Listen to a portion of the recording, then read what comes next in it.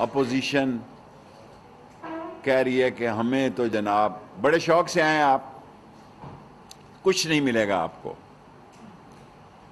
और ये याद रखें, जब भी तहरीकें चली हैं तो ख्वाहिश के मुताबिक उसके नतीजे नहीं मिले।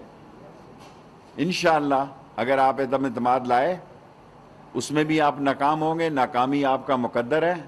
साढ़े तीन साल से आप लगे हुए हैं।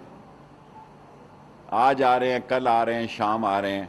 एक सौ बहत्तर मेंबर लाना आपका काम है। बाद में ये कहेंगे, नहीं जनाब अली फ़ोन आ गया था, कोरोना हो गया था। और अगर अपोजिशन ये कहती है कि हमने कार्ड छुपाए हैं तो इमरान खान ने भी छाती के साथ लगा के कार्ड खेलता है वो। आप मुलाकातें और बातें और गुजारशातें जो कर रहे हैं, कुछ नहीं निकलना आपका।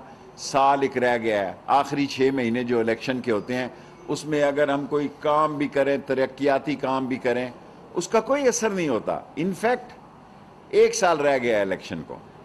शहरों में इंतबी सरगर्मियाँ शुरू हो चुकी हैं और ये अपोजिशन अदम अतमाद का वोट लाएगी, तब भी फंसेगी और उसके नतीजे पे भी फंसेगी। दुनिया किस तरफ़ जा रही है?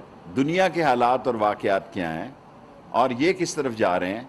सो इनको अकल के नाखन लेना चाहिए, वरना ये भी हो सकता है कि तारीख लिखी जाए कि इनकी बेवकूफ़ियों की वजह से मुल्क किसी कई मसाइल में उलझ गया था। तहरीक इंसाफ, जहाँ और लोगों से बात कर कर रही है एम क्यू एम हमारी तादी पार्टी है, काफ लीग है, और अगर जहांगीर तरीन से भी बात की जाए तो कोई, मुझे उम्मीद है इन ताला कि जहांगीर तरीन ज़िम्मेदारी का सबूत देगा, और अगर तहरीक इंसाफ, मैं इमरान खान का साथी हूँ, फैसला इमरान खान का है लेकिन अगर मुझसे कोई पूछे, मुझसे किसी ने नहीं पूछा तो मैं ये कहूँगा कि जहांगीर तरीन से भी बात होनी चाहिए।